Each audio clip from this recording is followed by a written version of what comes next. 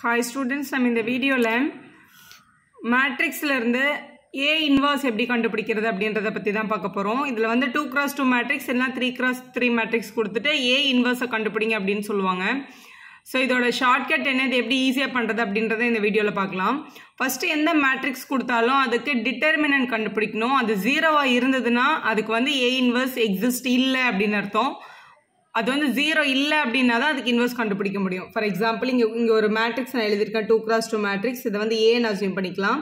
Find A inverse உங்களோட question நார்மலாக A inverse கண்டுபிடிக்கிறதுக்கான ஃபார்முலா என்ன அப்படின்னா one by determinant of A adjoint of A இப்படின்றது உங்களோட ஃபார்முலா இதில் ஃபஸ்ட்டு எல்லா மேட்ரிக்ஸுக்கும் இன்வெர்ஸ் வந்து எக்ஸிஸ்டாக இருக்கும்னு சொல்ல முடியாது. ஸோ எந்த மேட்ரிக்ஸ்க்கெலாம் இன்வெர்ஸ் ஃபன் இருக்கும் அப்படின்னா இந்த டிட்டர்மெண்ட் வந்து ஜீரோவாக இருக்கக்கூடாது. ஏன்னா ஒன் பை ஜீரோன்றது நாட் டிஃபைனுக்கு வந்துடும் ஸோ முதல்ல கொடுத்துருக்க மேட்ரிக்ஸ் நம்ம என்ன கண்டுபிடிக்கணும்னா இந்த டிட்டர்மினன்ட் வேல்யூ தான் கண்டுபிடிக்கணும். அப்போ determinant of A is equal to ரொம்ப சிம்பிள் ஃபஸ்ட்டு இந்த டயக்னலை மல்டிபிள் பண்ணணும். மைனஸ் போட்டு இந்த டயக்னலை மல்டிபிள் பண்ணணும். அதான் டிட்டர்மினன்ட்டோட value so one into three three minus போட்டுட்டு அடுத்த டிட்டர் அடுத்த டயக்னலை மல்டிபிள் பண்ணுங்கள் two into minus one minus two இங்கே மைனஸ் டூன்னு எழுதுங்க. ஸோ த்ரீ ப்ளஸ் டூன்னு கிடைக்குது அப்போ ஆன்சர் ஃபைவ் அப்போ வந்து டிட்டர்மினன்ட் ஆஃப் ஏ வந்தெல்லாம் மாடலஸ் அப்போ வந்து நாட் ஈக்குவல் டு ஜீரோன்னு வர்றதுனால நம்ம என்னன்னு சொல்லிடலாம்? ஏ இன்வர்ஸ் எக்ஸிஸ்ட் அப்போ இந்த சமுக்கு என்ன இருக்குது ஏ இன்வர்ஸ் இருக்குது அப்படின்னு எழுதிடலாம். டிட்டர்மினன்ட் வந்து ஜீரோ இல்லை அதனால அந்த மேட்ரிக்ஸ் வந்து ஒரு நான் சிங்குலர் மேட்ரிக்ஸ் அப்படின்னு சொல்லுவாங்க.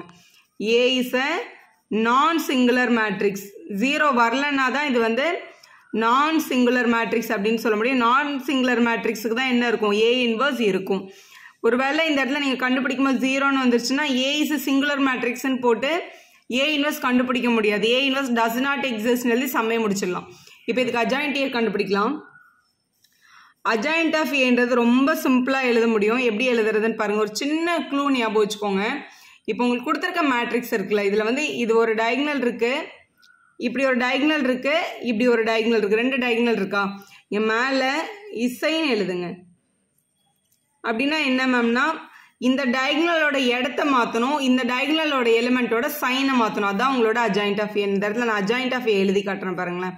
அஜாயிண்ட் ஆஃப் ஏ அப்படின்றது ஃபஸ்ட்டு டயக்னலுக்கு நம்ம கண்டிப்பாக எதை மாற்றணும் இடத்த தான் மாற்றணும் அப்போ இங்கே இருக்க த்ரீ இங்கேயும் இந்த ஒன் இங்கேயும் மாறிடும். அப்போ இங்கே த்ரீ போட்டு இங்கே ஒன் போட்டுருங்க.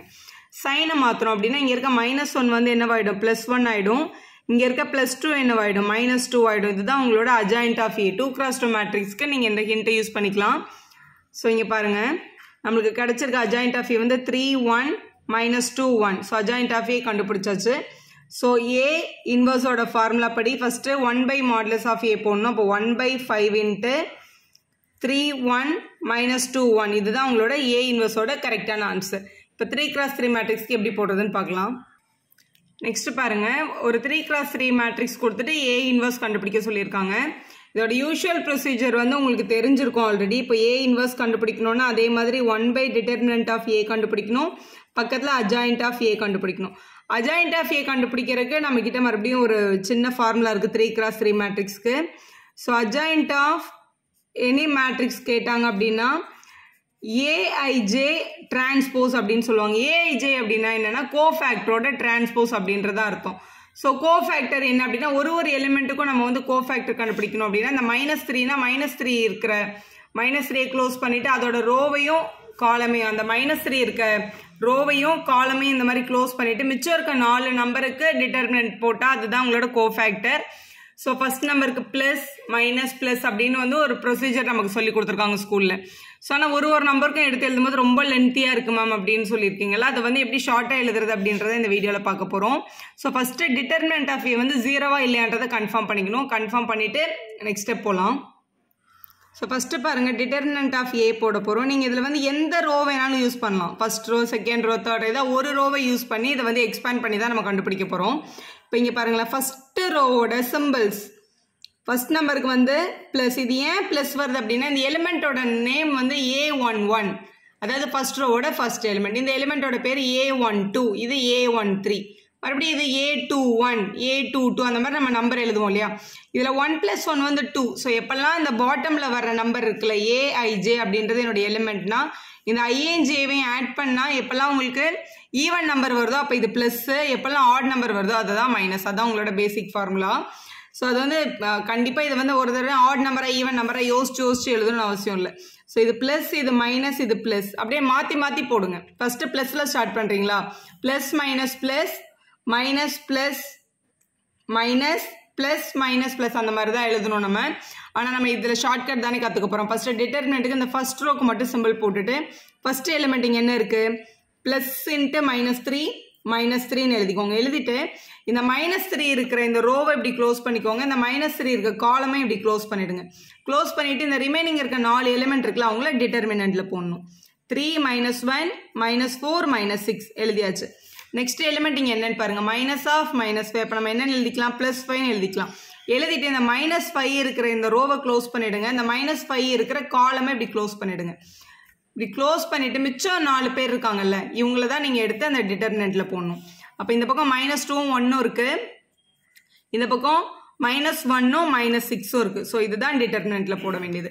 கடைசி எலிமெண்ட் வந்து இங்கே ப்ளஸ் ஃபோர் அப்போ ப்ளஸ் ஃபோர் இன்ட்டு இந்த ஃபோர் இருக்கிற இந்த ரோவை இப்படி க்ளோஸ் பண்ணிவிடுங்க இந்த ஃபோர் இருக்கிற காலமை இப்படி க்ளோஸ் பண்ணிவிடுங்க க்ளோஸ் பண்ணிட்டு மிச்சம் இருக்கிற நாலு பேர் யாருன்னு பாருங்கள் minus two three one minus four இது இப்படி தான் எழுதணும் ரிட்டர்ன் வந்துட்டு. இது நீங்கள் எந்த ரோ வேணாலும் யூஸ் பண்ணி எக்ஸ்பேண்ட் பண்ணலாம். நம்ம யூஸ்வலாக ஃபஸ்ட் ரோ யூஸ் பண்ணிட்டு இருக்கோம் ஸோ எழுதியாச்சு.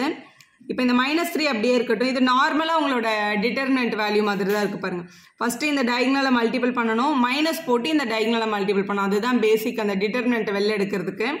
த்ரீ இன்ட்டு மைனஸ் சிக்ஸ் வந்து மைனஸ் எயிட்டீன் மைனஸ் போட்டுட்டு four ones are four minus into minus plus four தான். இங்கே இருக்கிற மைனஸ் இருக்கிறதுனால இங்கே இந்த மாதிரி ஃபோருன்னு கிடைக்குது. ப்ளஸ் ஃபைவ் இன்ட்டு நெக்ஸ்ட் இங்கே two six are twelve minus போட்டு one into minus one minus one இங்கே ஒரு மைனஸ் இருக்கிறதுனால இங்கே ப்ளஸ் ஒன்னு கிடச்சிச்சு ப்ளஸ் ஃபோர் போடுங்க. Four two are eight minus போட்டுட்டு ஒன் இன்ட்டு த்ரீ த்ரீ எழுதிட்டோம். இப்போ ஜஸ்ட்டு கேல்குலேஷன் தான். மைனஸ் த்ரீ இன்ட்டு மைனஸ் எயிட்டீனும் மைனஸ் ஃபோரும் ரெண்டுமே மைனஸில் இருக்கிறதுனால ஆட் பண்ணி minus twenty two plus five போடுங்க டுவெல்லும் தேர்ட் ஒன்னும் ஆட் பண்ணால் தேர்ட்டீன் ஃபோர் எயிட்லேருந்து த்ரீ மைனஸ் பண்ணால் five so minus into minus plus twenty டூவும் த்ரீயும் சிக்ஸ்டி சிக்ஸ்ன்னு கிடைக்கும். தேர்ட்டீனும் ஃபைவும் மல்டிபிள் பண்ணால் fifteen balance one sixty five four five are டுவெண்ட்டின்னு கிடைக்குது. ஸோ எல்லாமே அடிஷனில் தான் இருக்குது ஸோ ஆட் பண்ணிடலாம். ஸோ டுவெண்ட்டியும் சிக்ஸ்டி ஃபைவும் எயிட்டி ஃபைவ் சிக்ஸ்டி சிக்ஸும் ஆட் பண்ணுறோம் லெவனுக்கு one balance one fifteen so one fifty one அப்படின்னு கிடச்சிருக்கு. ஸோ நம்மளோட டிட்டர்மினன்ட் ஆஃப் ஏ வந்து ஒன் ஃபிஃப்டி ஒன் தான். இது வந்து ஜீரோ கிடையாது. ஜீரோவாக இருந்தால் வந்து ஏ இன்வெர்ஸ் வந்து எக்ஸிஸ்ட் இல்லை. So A is a non singular மேட்ரிக்ஸ்னு சொல்லிடலாம். ஏன்னா இது வந்து ஜீரோ வராததுனால இது வந்து நான் சிங்குலர் மேட்ரிக்ஸ் இது கண்டிப்பாக ஒரு லைன் எழுதிருங்க. ஏன்னா எக்ஸாமில் மார்க் வந்து இருக்கும். ஏ இன்வர்ஸ் எக்ஸிஸ்ட் இது வந்து ஏ இன்வெஸ்ட் கண்டுபிடிக்க முடியும் இந்த சம்முக்கு அப்படின்னு அர்த்தம். இப்போ நம்ம ஒரு ஒரு எலிமெண்ட்டுக்கும் கோஃபேக்டர் கண்டுபிடிக்கிறதுக்கு பதிலாக ஒரு சின்ன ஷார்ட்கட்டில் தான் இந்த சம்ம பண்ண போகிறோம் அது எப்படி பண்ணுறது அப்படின்றத பார்க்கலாம் ஃபஸ்ட்டு உங்களுக்கு கொடுத்துருக்க மேட்ரிக்ஸ் இருக்குல்ல அந்த மேட்ரிக்ஸோட நம்பர் எடுத்து ஃபஸ்ட்டு இந்த மாதிரி எழுதிக்கோங்க. இங்கே பாருங்கள் ஸோ அஜாயிண்ட் ஆஃப் எழுதுறதுக்கு ஒரு ஒரு எலிமெண்ட்டுக்காக எடுத்து கோஃபேக்டர் எழுதியும் பண்ணலாம் இல்லை இந்த மாதிரியும் பண்ணலாம். ஒருவேளை உங்களுக்கு டைம் வந்து ஷார்ட்டேஜாக இருந்தால் இந்த மெத்தடில் பண்ணுங்கள் இதை வந்து நீங்கள் ரஃப் காலமில் எழுதிக்கலாம். ஃபஸ்ட்டு கொடுத்துருக்க மேட்ரிக்ஸ் எடுத்து அப்படியே காப்பி பண்ணியிருக்கேன். காப்பி பண்ணிவிட்டு இந்த ஃபஸ்ட்டு ரெண்டு காலம் இருக்குல்ல அதை எடுத்து இங்கே பக்கத்தில் எழுதுங்க. Minus three minus two one minus five three minus four இந்த ரெண்டு காலமை மட்டும் எடுத்து இங்கே எழுதியாச்சு. எழுதிட்டு இப்போ இந்த ஃபஸ்ட்டு ரெண்டு ரோவை அப்படியே கீழே காப்பி பண்ணுங்கள் minus three minus five four minus three minus five அடுத்த ரெண்டாவது row minus two three minus one minus two three எழுதியாச்சு. எழுதிட்டு இங்கே இருக்கிற ஃபஸ்ட்டு காலமே இந்த ஃபஸ்ட்டு ரோவையும் கேன்சல் பண்ணிடுங்க. கேன்சல் பண்ணிவிட்டு இந்த ரிமைனிங்கில் இருந்து தான் நம்மளோட அஜாயிண்ட் ஆஃப் ஏவோட வேல்யூ நம்ம எழுத போகிறோம் அது எப்படி எழுதுறதுன்னு பாருங்கள் இப்போது ரொம்ப ஈஸியாக எழுதிடலாம். ஃபஸ்ட் எலிமெண்ட் இங்கே இருக்கிற இந்த நாலு நம்பருக்கு தான் டிட்டர்மினன்ட் போடணும். இது எப்படி பாருங்களேன். ஃபஸ்ட்டு இதை மல்டிபிள் பண்ணுறோம் த்ரீ இன்ட்டு மைனஸ் சிக்ஸ் வந்து மைனஸ் எயிட்டீன் மைனஸ் போட்டு இதை மல்டிபிள் பண்ணணும். ஃபோர் ஒன்ஸ் ஆர் ஃபோர் அப்போ மைனஸ் எயிட்டீனும் மைனஸ் ஃபோரும் ஆட் பண்ணால் நமக்கு என்ன கிடைக்கும்? மைனஸ் டுவெண்ட்டி டூ கிடைக்கும். அப்போ இந்த ஃபஸ்ட் எலிமெண்ட் வந்து கண்டிப்பாக மைனஸ் டுவெண்ட்டி டூ தான். எழுதிட்டோம். இப்போ நெக்ஸ்ட் ஒரே ஒரு சின்ன விஷயம் நம்ம வந்து என்ன பண்ணுவோம்னா கோஃபேக்டர் கண்டுபிடிச்சு டிரான்ஸ்போஸ் பண்ணி தானே நம்மளோட அஜாயிண்ட் ஆஃப் எழுத முடியும். நீங்கள் எழுதும் போதே டிரான்ஸ்போஸாக எழுதிருங்க. அதாவது இங்கே காலம் வைஸ் சால்வ் பண்ணிகிட்டே வந்துட்டு இங்கே ஆன்சரை இங்கே ரோ வைஸ் எழுதிருங்க. ஆன்சர் கரெக்டாக வந்துடும் ஸோ இப்போ நெக்ஸ்ட் எலிமெண்ட் பார்க்கலாம். நெக்ஸ்ட் இந்த நாலு பேர் தான் எலிமெண்ட் ஃபஸ்ட்டு இங்கே ஃபோர் ஃபோர் ஜார் சிக்ஸ்டீன் ஆனால் இங்கே ப்ளஸ் இருக்கு இங்கே மைனஸ் இருக்குது அதனால் நம்ம என்ன எழுதணும்னா மைனஸ் சிக்ஸ்டீன் அப்படின்னு எழுதணும். ஸோ மைனஸ் சிக்ஸ்டீன் மைனஸ் போட்டுட்டு இது ரெண்டுத்தையும் மல்டிபிள் பண்ணுங்க. Five six are thirty minus minus plus ஆகிடப்பீங்க plus thirty அப்படின்னு எழுதிடலாம். மைனஸ் சிக்ஸ்டீனும் மைனஸ் தேர்ட்டியும் ஆட் பண்ணணும். ஆட் பண்ணால் நமக்கு கிடைக்கிறது மைனஸ் ஃபார்ட்டி சிக்ஸ் அப்போ இங்கே நெக்ஸ்ட் நம்பர் வந்து மைனஸ் ஃபார்ட்டி சிக்ஸ் தான். இங்கே காலம் வைஸ் எடுக்கிறோம். நம்ம இங்கே எழுதும்போது ரோ வைஸ் எழுதுறோம். அதுதான் ஒரே ஒரு டிஃப்ரென்ஸ் அடுத்து இங்கே last column five one jar five மைனஸும் மைனஸும் ப்ளஸ் ஃபைவ் தான். மைனஸ் போட்டுட்டு த்ரீ ஃபோர் ஜார் டுவெல்னு எழுதிருங்க. ஃபைவ் மைனஸ் டுவெல் வந்து மைனஸ் செவன் கிடைக்கும். அப்போ இங்கே மைனஸ் செவன் ஸோ எழுதிட்டோம். மூணு மூணு காலம் மூணு ரோ தான் நம்மளோட த்ரீ கிளாஸ் த்ரீ மேட்ரிக்ஸில் இங்கே க்ளோஸ் பண்ணிடலாம்.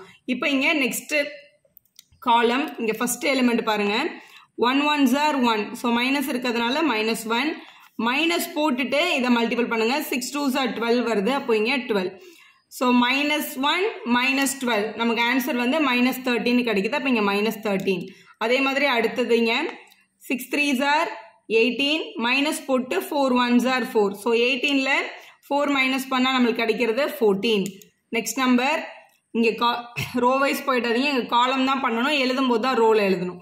இங்கே four two are minus eight minus போட்டுட்டு இங்கே three one are three so minus எயிட்டும் minus த்ரீயும் மைனஸ் லெவன் கிடைக்கும். இப்போ இங்கே மைனஸ் லெவன் அப்படின்னு எழுதிடலாம். நெக்ஸ்ட்டு இங்கே லாஸ்ட் காலம் வந்துட்டோம். லாஸ்ட் காலமில் இங்கே ஃபஸ்ட் எலிமெண்ட் பாருங்கள் ஃபோர் டூ ஜார் எயிட்டுன்னு கிடைக்குது. ஸோ எயிட் மைனஸ் இங்கே three one are three so eight minus five பண்ணால் சாரி எயிட் மைனஸ் த்ரீ பண்ணால் நமக்கு கிடைக்கிற எலிமெண்ட் ஃபைவ் தான். நெக்ஸ்ட் இங்கே one into minus five minus five minus போட்டுட்டு four three are twelve so minus ஃபைவும் minus டுவெல்லும் நமக்கு கிடைக்கிறது வந்து minus seventeen last element three three are nine minus இருக்கிறதுனால மைனஸ் நைன் மைனஸ் போட்டுட்டு ஃபைவ் டூ சார் டென்னு எழுதிடலாம். ஸோ மைனஸ் நைனும் மைனஸ் டென் நமக்கு ஆட் பண்ண கிடைக்கிறது மைனஸ் நைன்டீன் அவ்வளோதான் நம்ம முடிச்சிட்டோம். இதுதான் நம்மளோட அஜாயிண்ட் ஆஃப் ஏயோட வேல்யூ ரொம்ப சிம்பிளாக எழுதியாச்சா? இப்போ ஃபைனல் ஆன்சர் மட்டும் எடுத்து எழுதிருங்க. A inverse is equal to one by determinant of A into adjoint of A தான் உங்களோட answer so one by adjoint of ஏயோட value வந்து ஒன் ஃபிஃப்டி ஒன்னு முதல்ல கண்டுபிடிச்சிருக்கோம். இப் டிட்டர்மெண்ட் ஏலியை வந்து ஒன் ஃபிஃப்டி ஒன்று கண்டுபிடிச்சிருக்கோம் அஜாயிண்ட் ஏ ஏ வந்து இங்கே இருக்குது நம்மளோட matrix minus twenty two minus forty six minus seven minus thirteen fourteen minus eleven five minus seventeen minus nineteen இதுதான் உங்களோட கரெக்டான ஏ இன்வர்ஸோட வேல்யூ வீடியோ யூஸ்ஃபுல்லாக இருந்தால் ஒரு லைக் போடுங்க உங்கள் ஃப்ரெண்ட்ஸ்க்கும் ஷேர் பண்ணுங்கள் subscriber channel for more videos